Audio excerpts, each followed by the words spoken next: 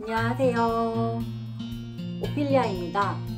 정확히 1년 전 2020년 10월 10일 2,800만 원의 대출을 추가로 또 받았어요.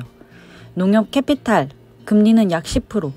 10%쯤은 그나마 이제 저렴하게 느껴졌고 이전에 갚았던 은행 대출의 이자는 무려 17%였답니다. 배보다 배꼽이 더 큰 느낌이었어요. 1년 만에 약 2,800만 원 돈 엊그제 다 갚았습니다. 제가 이렇게 1년 만에 갚을 수 있었던 이유는 무식하게 돈 생기면 다 빚 갚는데 썼기 때문인 것 같아요. 너희 노력에 대한 대가와 돈들이 빚으로 가는 게 허무하진 않냐? 라는 질문에 대한 답을 하자면요. 빚을 갚는다는 것 자체에 초점을 맞추지 않고 내 하루하루 삶의 포커스는 내가 하고 싶은 일들에 집중했습니다. 매일 배우고 도전하고 시도하고 그러한 과정 속에서 시행착오를 겪으며 성장했습니다. 저는 저를 알아요. 한 번에 절대 잘하는 스타일이 아니라는 것을. 덤벙대고 허당끼도 있음을 알고 있고요. 그렇기에 저는 누구보다 더 많은 노력이 필요합니다. 한 번에 스마트 스토어가 잘 되면 얼마나 좋을까요? 한 번에 라이브 방송이 잘 되면 얼마나 좋나요? 그치만 시대에 보니 한 번에 잘 되는 건 타고난 게 아니라면 없습니다. 저는 유, 유명한 유튜버를 선망하지만 사실 평범한 사람들 속에 그래도 존재감 있는 제가 되고 싶어요.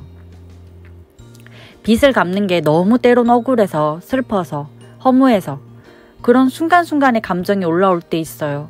그럼 좀 슬퍼했다가 좀 우울해했다가 그렇게 올라오는 감정을 느끼고 조금 뒤에 내가 다시 하고자 하는 것에 몰입하면 괜찮아지더라고요. 내가 빚 때문에 힘들다면 정말 무엇을 하든 간에 힘이 계속 들어야 할 텐데 밥 먹을 때나 아이랑 같이 놀 때는 생각도 안 나는 거 보면 이 고통이 진짜 내가 내 생각이 만들어내는구나를 알 수 있어요. 오늘 스마트 스토어 50만 원이 정산되었다면 그중 30만 원을 제외한 나머지는 대출을 갚았어요. 번 돈의 50%씩은 거의 대출을 갚기도 했고 때론 부모님을 챙기는데 쓰기도 했습니다. 우리가 여행을 가는데도 쓰고요. 돈이란 게 내가 붙잡는다고 해서 계속 그 자리에 잘 있는 게 아니더라고요. 결국 움켜쥐고 야박하게 살았던 인생에서 모아두었던 돈은 없어졌고 덤탱이로 빚까지 생긴 인생이었으니까요. 깨달았어요. 내 마음을 잘 써야 하는구나. 그동안 스스로 좀 평민 중에서도 가난한 사람 같다라는 자격지심에서 더욱더 돈을 모으려고 했었습니다. 지금은 쓸 때는 쓰자, 베풀 때는 베풀자입니다. 그렇게 떠나보낼 줄 알았던 돈이라면 진짜 기부라도 할 걸, 유기견이라도 더 도울 걸 생각 들더라고요.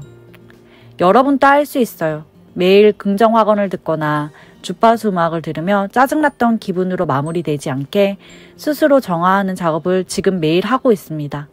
아직도 빚은 제게 여전히 남아있지만 1년 만에 2,800만원 갚은 제 스스로에게 셀프 칭찬을 하며 오늘 마무리 해보겠습니다. 일단 해본다라는 시도가 지금의 저를 만든 것 같아요. 빚 사건이 너무나 제 인생에 충격적이지만 1년이 지난 지금은 제게 또 다른 성장의 기회를 주었고 성장 스토리를 주었잖아요. 우리 함께 해봐요. 오늘 또 오피리아와 함께 하루 마무리 해봐요. 감사합니다.